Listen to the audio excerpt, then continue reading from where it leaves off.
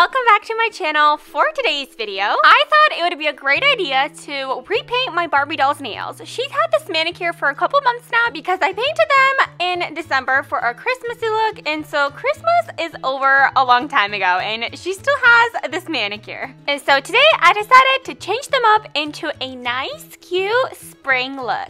So let's get started. So what you're gonna need is a paint palette or somewhere where you're gonna put your paint and then you're gonna need some sort of paint. I'm using this acrylic paint in the color Bright Magenta so it's gonna be a nice cute spring look and it's just gonna stand out.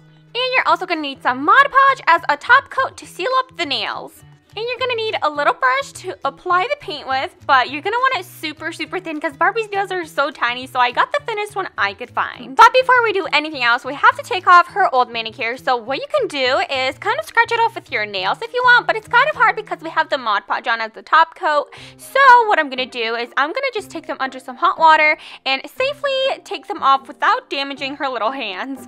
Alright, now that I got all her manicure off, I'm going to start off with her new manicure.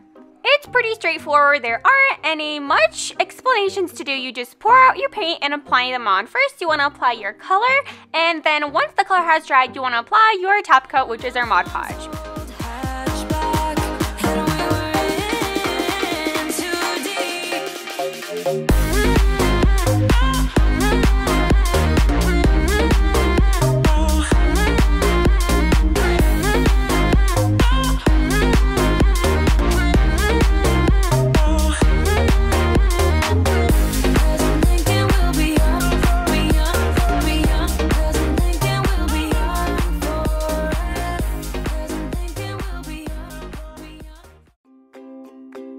Alright, now that I have my first coat on, I'm going to let them dry and once it's dry, I'm going to put on my second coat because with one coat, it doesn't get full coverage.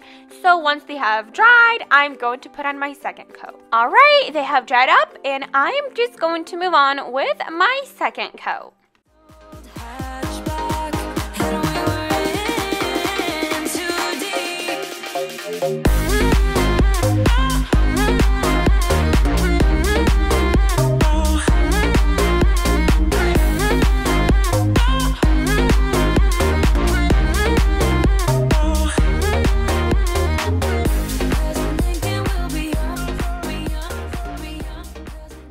Alright, now we're going to let the second coat dry up. Alright, now this is absolutely optional, but I decided that I want to add some glitter on her nails to give them a little bit of a shine. Oh, I also wanted to mention that um, Mod Podge is basically the same as white school glue, so if you don't have Mod Podge at your house, you can use white school glue as your top coat, so just want to let you guys know. Alright, now that the nails are nice and dry, the next thing that I'm going to be doing is I'm going to get my glitter and I'm just going to add it into my Mod Podge.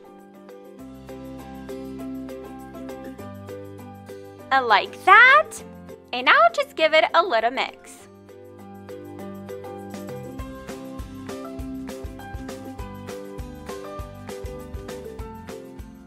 Alright, and now it is time to put on our top coat.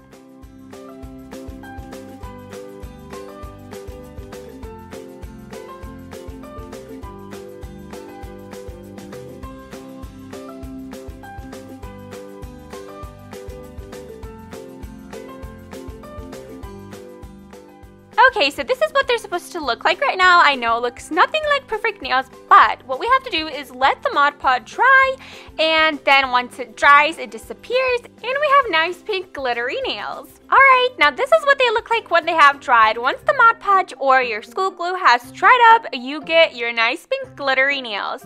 Just look how good they look, you guys. They even look better than I expected them to be. They are so pretty. I just love how the glitter sparkles. Alright you guys, I hope you guys enjoyed this little tiny Barbie DIY and I hope it made you go and paint your Barbie's nails too. I hope you guys enjoyed today's video. Don't forget to follow us on Instagram at Barbie's Awesome World. Please be sure to give it a big thumbs up and subscribe to the channel down below and we will see you guys next time. Bye!